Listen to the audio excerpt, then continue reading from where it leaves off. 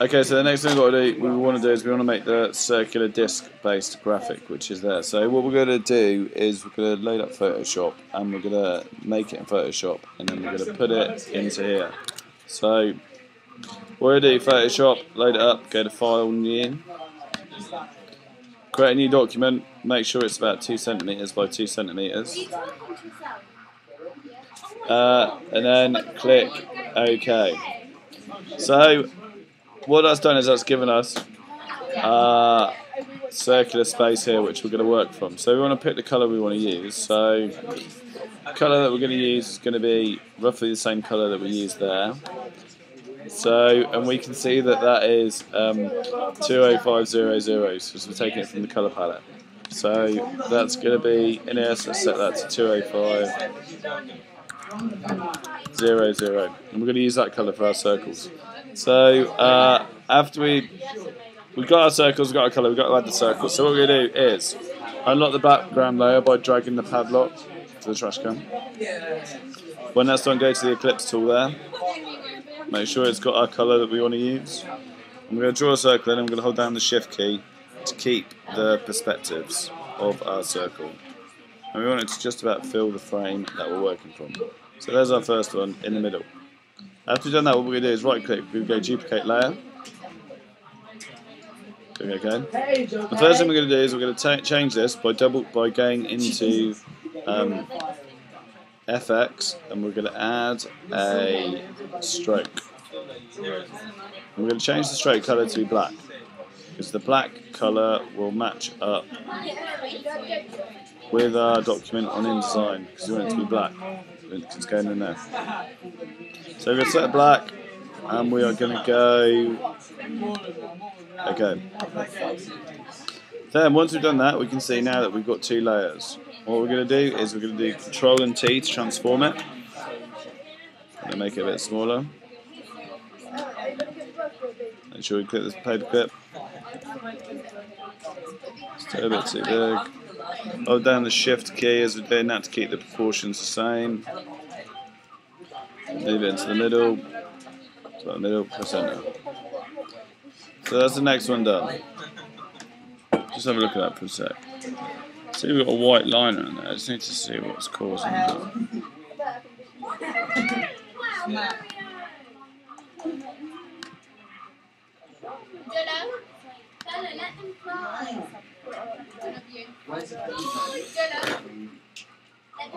Okay, and then what we're going to do is we're going to do it with the next one. So we're going to go right click, duplicate layer, enter, then we do control and T, make that smaller, like there. It's still a bit more smaller until we're getting for that. That's about in the middle. Enter. Another one. Right click, duplicate layer. Click OK. Command and T to free transform. There. Hold down the shift key to keep the proportions the same. Move it using the arrow keys until we get it in the right place that we want it. Still a bit too big. Hold down shift key. Get it in the right place. But there's our third one. Finally, in the middle, what we want to do is we want to put a circle. Right. I'm going to stick a circle in the middle. Hold down shift key, like that. Draw it in like that. Change the colour to be black by going up to colour selector.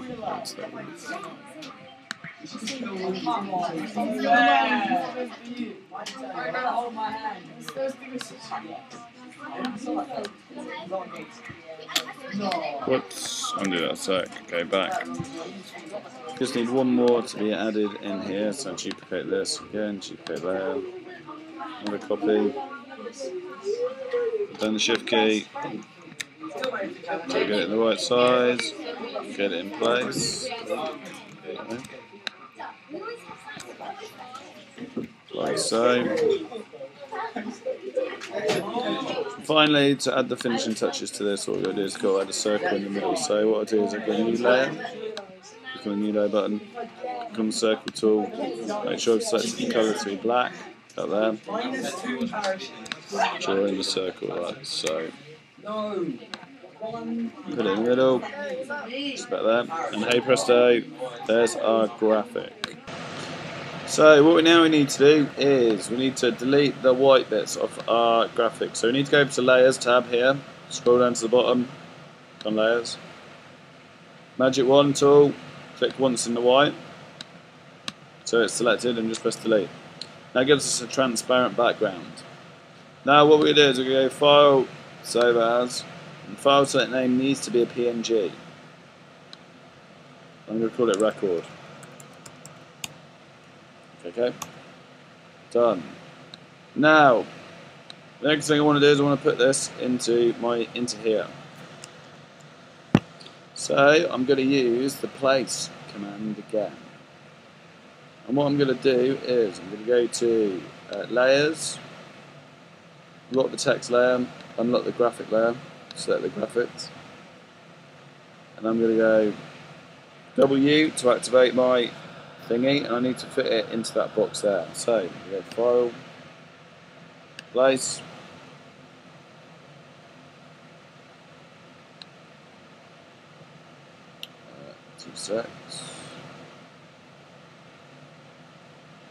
record.png.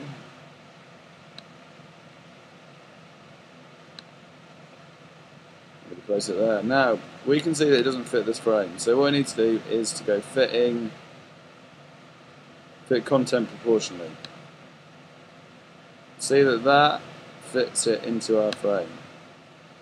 Finally what we need to do is we need to move it to the other side of the frame. So what I'm going to do actually is actually what would have been better to do, sorry my fault, is we're going to do that. But first of all what we're going to do is we're going to use a graphics frame and we're going to draw another graphics frame in here like that. So we know it's going in there and then we're going to do the same as we did. File, place. Record.png. Open. So it's in there. Right click on it. Fitting. Fit content proportionally. So it puts it there. Now we need, what we need to do is move it onto the other side of the frame so that it's up on this side. What I'm going to do is I'm going to right click on it on the frame. I'm going to go fitting. I'm going to go fit framed content. So now it's that size. Now after that what we do, I'm just going to move it across. So there. So that looks like right. Final thing I need to do is I need to put a white box in between here and here. So all I'm going to do to do that is get my little square here. I'm going to draw a small rectangle like that. What I'm going to do is I'm going to move that I'm going to make the fill in there white. Go into colour. Uh, pick in a white fill in here, like so. And see how I did that? I changed that to here to white. Over there, pick the white colour from here. I'm clicking off.